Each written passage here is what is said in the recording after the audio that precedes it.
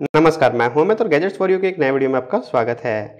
आज हम speed test comparison करने वाले हैं Redmi Note सैमसंग के 8 प्लस से।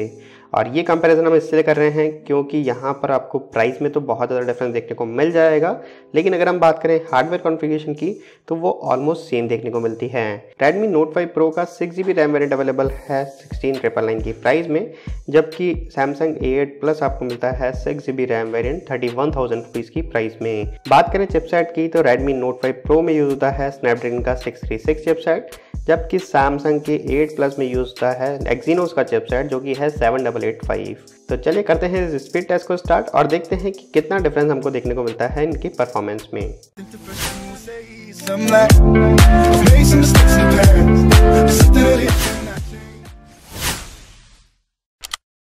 तो स्पीड टेस्ट को स्टार्ट करते हैं, दोनों ही फ़ोन को बूट करके, सबसे पहले करते हैं दोनों ही फ़ोन को बूट और देखते हैं कौन से फ़ोन का बूटिंग टाइम हमें बेहतर देखने को मिलता है।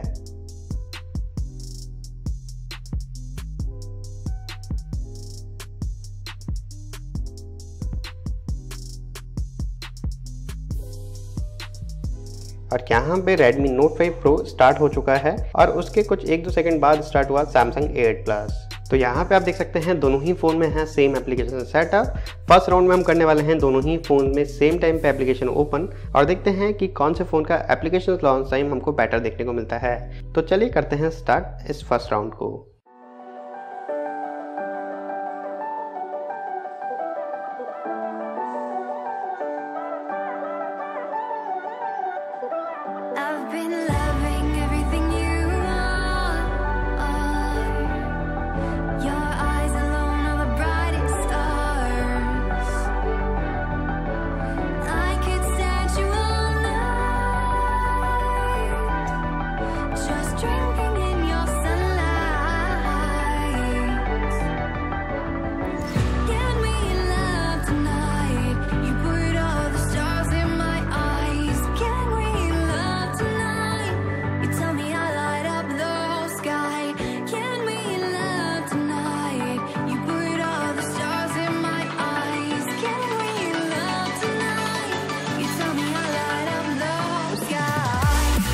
तो यहाँ पे आपने फ़र्स्ट राउंड में देखा कि Redmi Note 5 Pro ने बराबर की टक्कर दी Samsung के 8 Plus को।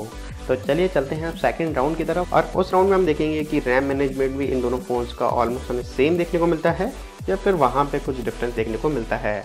तो चलिए करते हैं सेकेंड राउंड को स्टार्ट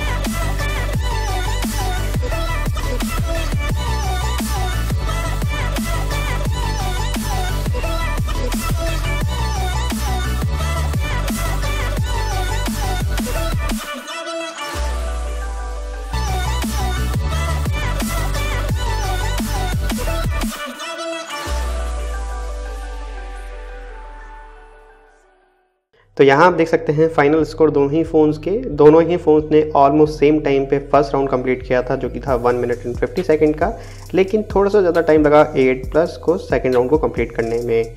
यहाँ पे विनर होता है रेडमी नोट फाइव प्रो जिसने कंप्लीट टाइम लिया two minutes and eighteen second तो अब आप समझ ही चुके होंगे कि कम प्राइस होने के बावजूद भी रेडमी नोट फाइव प्रो काफ़ी स्ट्रॉन्ग चिपसेट के साथ में हमको यहाँ पे देखने को मिलता है। तो यही था आज के वीडियो में, उम्मीद है आपको पसंद आया होगा तो इस वीडियो को लाइक और शेयर करना ना भूलें। अगर आपके पास फिर भी कोई सवाल या सुझाव हो तो आप नीचे कमेंट सेक्शन में लिख सकते हैं।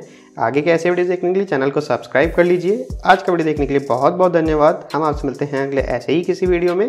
तब तक के लिए आपके दिन शुभ रहें।